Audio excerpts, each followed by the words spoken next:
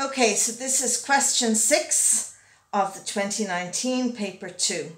So construct the parallelogram PQRS where PQ equals 9 centimetres, PS equals 5 centimetres and SPQ equals 65 degrees. Show all your construction line, arcs and labels clearly. So the first thing we're going to do is we're going to measure out PQ. Now we have P here, so we need 9 centimetres. Now I can't find my ruler, so this is only 8 centimetres long. So I'm going to mark in 8 centimetres and then measure an extra centimetre. But if you have your ruler, just go straight ahead and mark in your 9 centimetres. Now please make sure you do this accurately. Take your time and measure correctly. So there is 9 centimetres and that is my Q and that's 9 centimetres. Now, the next thing we're going to do is we're actually going to go to measuring our angle, SPQ. So that's the angle here at P. So it's 65 degrees. So you're going to put your protractor down. Make sure the X is on P. Now, see where the line, this line goes and look to see where is the zero. Is it on the inner track or the outer track? In this case, it's on the inner track. So I'm going to go to 65 on my inner track, which is there. Okay. So then I'm going to draw just a line straight up from there.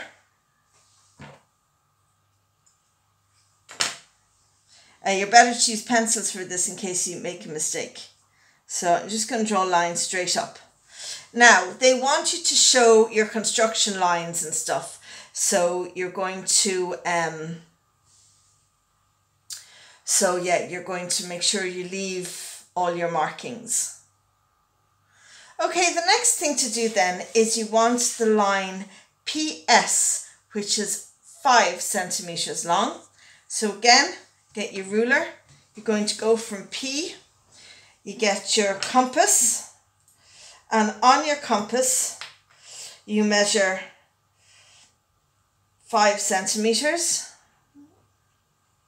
So do it along your do it along your ruler.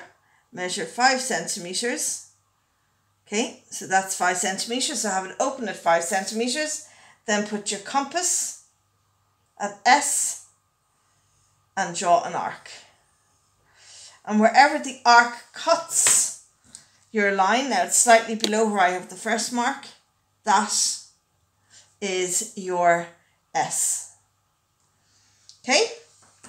So now um, you're going to get two, a ruler or um, two of these. But as long as you've one with a right angle and one with straight edge. So you're going to make a right angle to that and you're going to put it through that S or even just before, it doesn't really matter.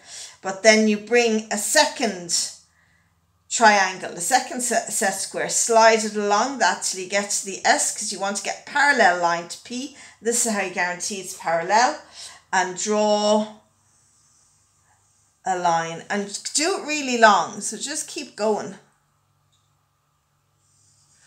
Now there's two ways you can do this. At this point you can either measure a line nine centimeters long or again you can get your compass and open it to the same length as your bottom line, which should be 9 centimeters. And from your S, draw an arc. And where it meets, that is your PQR is what we're missing. That's your R. And then simply connect your R to your Q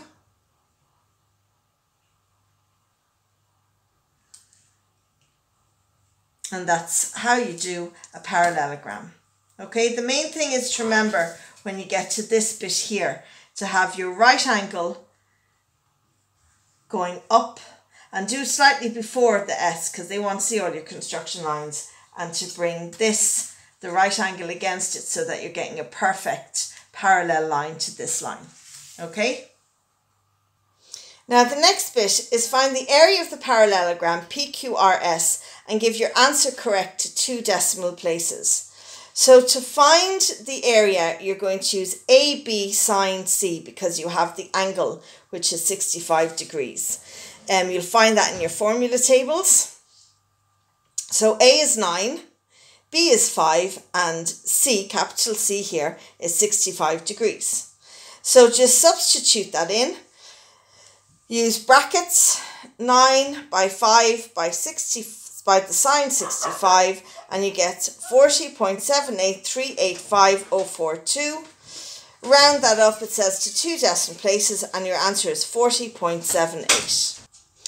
Now, part B. In the diagram, 0 is the centre of the circle S, or rather O is the centre of the circle S, and they want you to find the value of that and beta, so alpha and beta.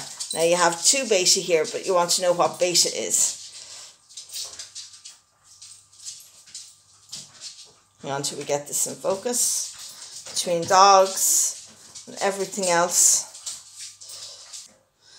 So the first thing you know about the triangle is that the triangle WYO, so there it is there, WYO, is an equilateral triangle because this side here and this side here, they're both the radius, so they're the same length. So that means they're equal. And when you have an equilateral triangle, then the angles at the base are the same.